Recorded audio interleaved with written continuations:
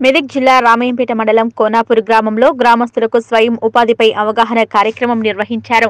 ప్రాథమిక సహకార సంఘం చైర్మన్ విజయలక్ష్మి ఆధ్వర్యంలో ఏర్పాటు చేసిన అవగాహన కార్యక్రమంలో గ్రామానికి చెందిన యువతకు కేంద్ర ప్రభుత్వం నూతనంగా ప్రవేశపెట్టిన ప్రధానమంత్రి ఉపాధి కల్పన పథకం ద్వారా వివిధ పథకాలలో లబ్ధిదారులకు కలిగే లాభాలు వివరించారు. కోఆపరేటివ్ సొసైటీ జిల్లా అధికారి K. Aruna SBI manager TDP chief manager మేలేక్ రవీంద్రతో పాటు పలువురు అధికారులు ఈ అవగాహన కార్యక్రమానికి హాజరయ్యారు. గ్రామీణ యువతకు ప్రధానమంత్రి పథకం ద్వారా లభించే రుణాన్ని లబ్ధిదారులకు కలిగే లాభాలను ఈ సమావేశంలో వివరించారు. ప్రధానమంత్రి ఉపాధి కల్పన కార్యక్రమం ద్వారా గ్రామీణ స్థాయిలో వివిధ పథకాల ద్వారా పరిశ్రమలు ఏర్పాటు చేసుకునేందుకు ఎలాంటి షరతులు లేకుండా రుణ సౌకర్యం ఉన్నందున ఈ అవకాశాన్ని గ్రామీణ యువత ఉపయోగించుకోవాలని సొసైటీ చైర్మన్ విజయలక్ష్మి సాగర్ తెలిపారు.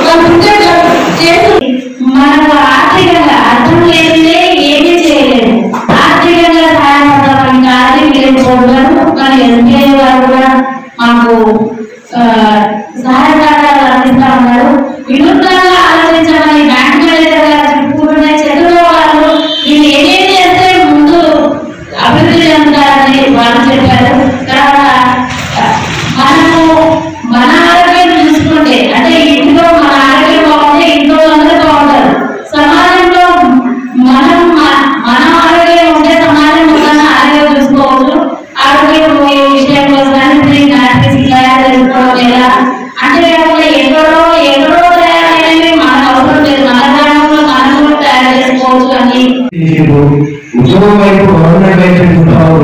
గవర్నమెంట్ ఎన్నో అవకాశాలు ఇస్తా ఉంటారు ఆపర్చునిటీ వాడుకోవాలన్నటువంటి ఒక ఆ, దానితోటి ఈ ఉన్నటువంటి సొసైటీ డైరెక్టర్లు అందరూ మా గ్రామంలో మా సొసైటీ ద్వారా ఒక మంచి అవగాహన సదస్సు పెడదాం అని ఆలోచన చేసి కమిటీ నిర్ణయించినటువంటి ఆలోచన విధానమే ప్రత్యేకించి ఆ కమిటీ వారందరికీ నేను నా ప్రత్యేకమైనటువంటి కృతజ్ఞతలు ధన్యవాదాలు తెలియజేస్తా ఉన్నాను.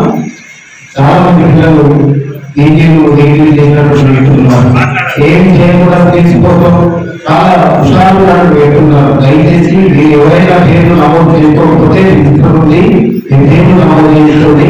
మీరు దానిలో ఇంతమంది చెప్పిన ఏది ఇష్టం ఉందో ఇలా రాస్తే ఫీడ్బ్యాక్ ఇస్తే మీకు తర్వాత పేర్లు డెవలప్మెంట్ ఒక ఒక ఉదాహరణ చెప్తా.